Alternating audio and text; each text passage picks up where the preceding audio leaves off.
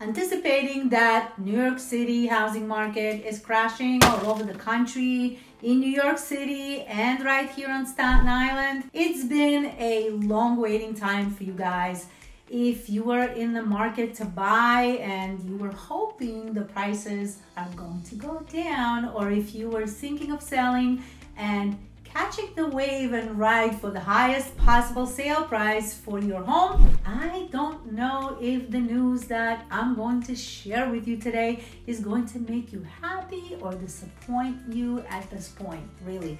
At this time, as we sit here and discussing, the interest rates are already like at 8%.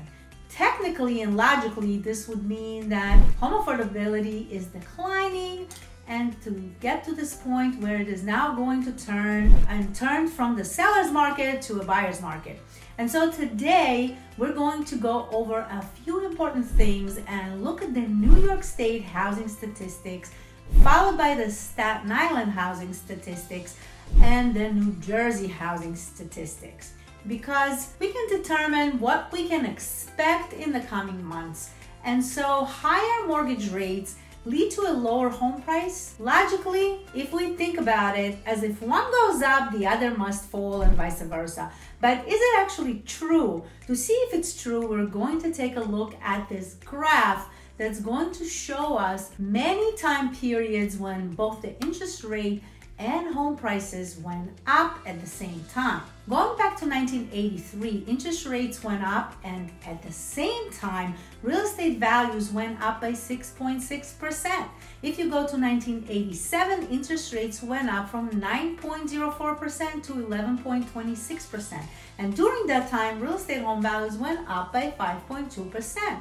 Now, let's move ahead to 1993 the interest rates in October to December of 1994 went up 9.20%, and during that period of time, home values went up by 1.2%.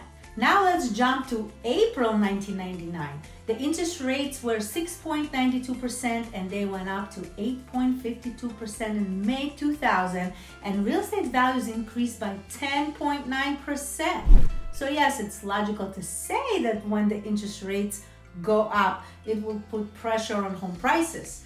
Prospective buyers will not be able to afford as much, and that will be forcing the prices to lower.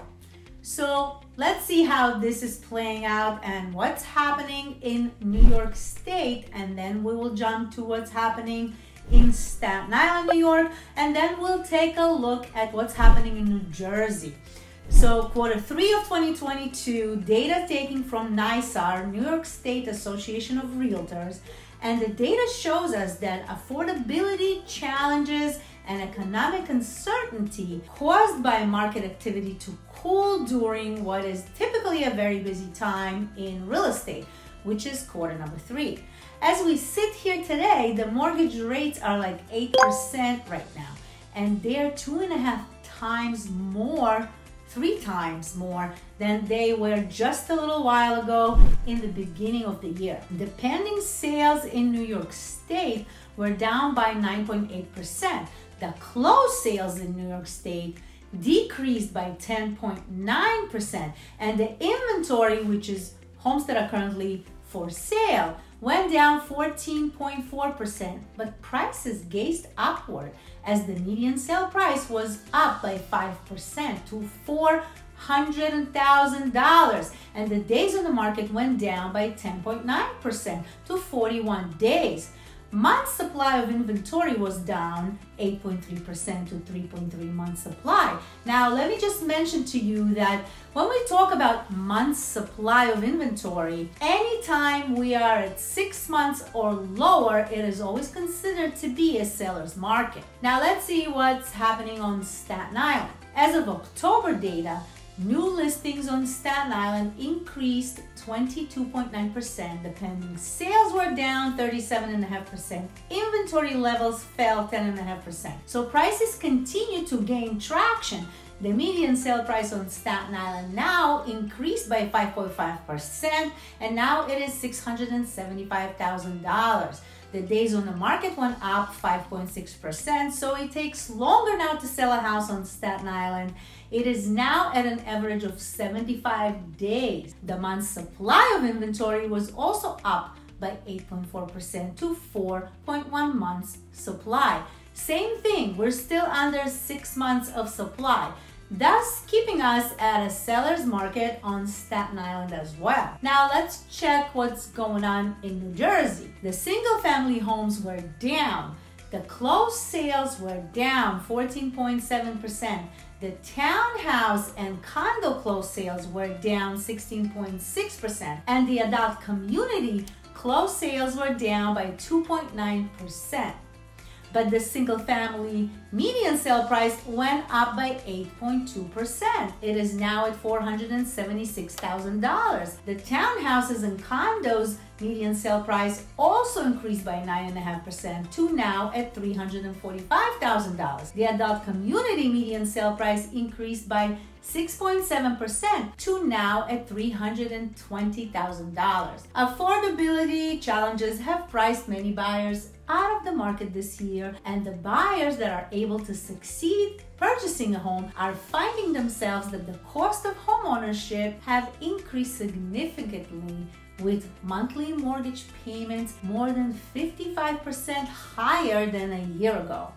And that is according to the National Association of Realtors. The inventory remains lower than normal as the market continues to shift. Experts project homes will begin to spend more days on the market and price growth will slow in months ahead.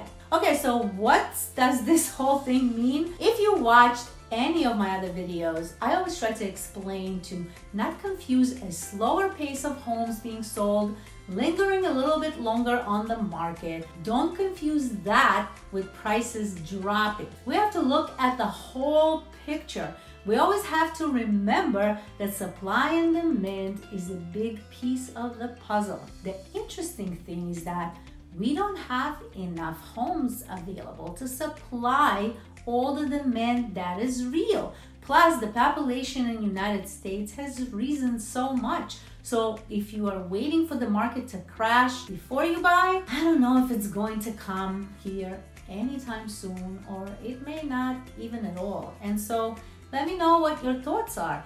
If you're new to this channel, make sure that you subscribe to it. I love making those videos for you because I feel it's important to understand what's happening in our local real estate market versus throwing just everything into the pot. We're not cooking soup. I still believe with all my heart that homeownership is the way to go.